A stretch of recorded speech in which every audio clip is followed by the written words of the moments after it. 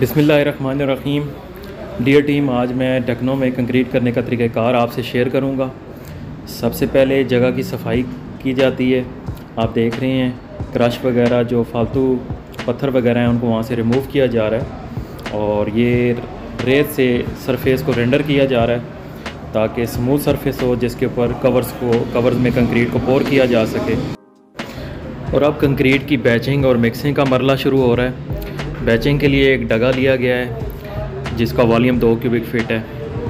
दो डगे हमने रेत के जमा कर लिए और चार डगे क्रश के यहाँ पे हम फेंक देंगे और एक डगा हम सीमेंट का फेंकेंगे और इस तरह वन टू फोर की रेशो हमें हासिल हो जाएगी। नॉर्मली जो डगे इस्तेमाल होते हैं घरों की छतें पौर करने के लिए, उनका साइज़ एक अशारिया दो पाँच क्यूबिक फिट होता है, जबकि इस डगे का साइज़ दो क्यूबिक फिट है। और इसमें सीमेंट के डेढ़ बैग से थोड़ा सा ज़्यादा इसमें सीमेंट आता है। डेढ़ बैग से थोड़ा सा ज़्यादा। और अब इसको हम इस क्रश के ऊपर फेंक देंगे और इसके बाद इसकी खुश मिक्सिंग का अमल हम शुरू करेंगे। जी हाँ ये खुश मिक्सिंग का अमल शुरू हो चुका है और इसके लिए हम तीन पलटे देंगे। खुश्क मिक्सिंग करेंगे, तीन मरतबा करेंगे।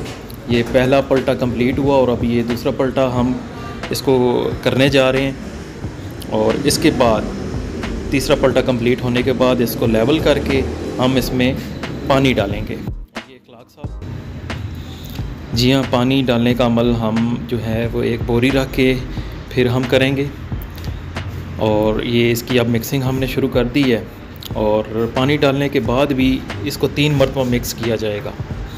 इस ढेरी को तीन मरतबा पलटा दिया जाएगा। ये दूसरा पलटा शुरू हो चुका है। और ये तीसरा पलटा और फाइनल पलटा। आप कंक्रीट की हालत देख सकते हैं कि इतनी अच्छी तरीके से मिक्स हो चुकी है और ज़बरदस्त मिक्सिंग हो चुकी है। कहीं पे सीमेंट ज़्यादा या कम होने की शिकायत नहीं होगी। और कंक्रीट पोर करने से पहले जगह को गीला किया जाता है, तराई की जाती है। ताकि कंक्रीट अच्छी तरह पकड़ कर ले और कंक्रीट से पानी जज़ब ना हो सतह पे।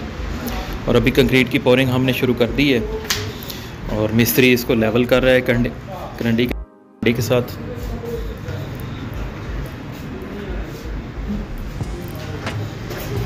कंक्रीट बनाने के बाद उसको आधे घंटे में यूज़ कर लेना चाहिए और साथ ही साथ हैमरिंग भी करते रहना चाहिए ताकि कंक्रीट अच्छी तरह से पोर हो जाए और लेवल हो जाए। ये एक किस्म के कम्पेक्शन के तौर पे काम करती है ये चीज़। और अभी लकड़ी के गुरमाले के साथ इसकी रफ फिनिशिंग की जाएगी। और अब बिल्कुल फ़ाइनल में हम स्टील के गुरमाले के साथ इसको बिल्कुल स्मूथ फिनिशिंग में ले आएँगे। जैसा कि आप देख सकते हैं। बहुत शुक्रिया।